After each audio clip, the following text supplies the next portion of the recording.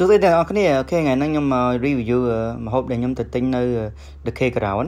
អាហ្នឹងគេហៅ cheese stick អូខេកុំឲ្យថាយើងនឹងមិនចេះធ្វើ okay ឥឡូវយើងគាត់ហែកថង់មកដាក់ចូលក្នុង air fry ផ្លឹប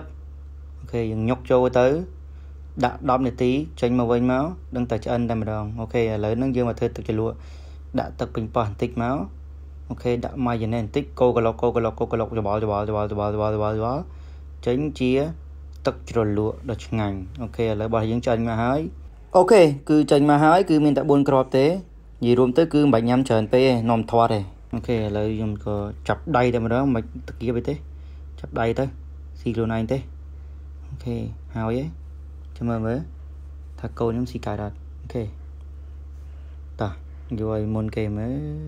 ជួយជីងាយញ៉ាំមើលឆ្ងាញ់ហេគេអៀនគេគេអៀនយល់ សឿវាថាឆ្ងាញ់ណាស់ថាឆ្ងាញ់យំទៅអានឹងឆ្ងាញ់មែនមែនក៏ហើយអ្នកនរគ្នានឹងឆ្ងាញ់មែនទៅសារអ្នកគ្រូអ្នកនរគ្នាអូខេដឹកខេក្រោនហៅមើលហូតដល់ខ្ញុំប្រាប់ហ្នឹងទៅគឺឃើញហើយអូខេបងប្អូនគ្នាវីដេអូគឺមានតែប៉ុណ្្នឹងទេស្រួលស្រួលងាយងាយជួបគ្នានៅវីដេអូក្រោយទៀតបាយបាយ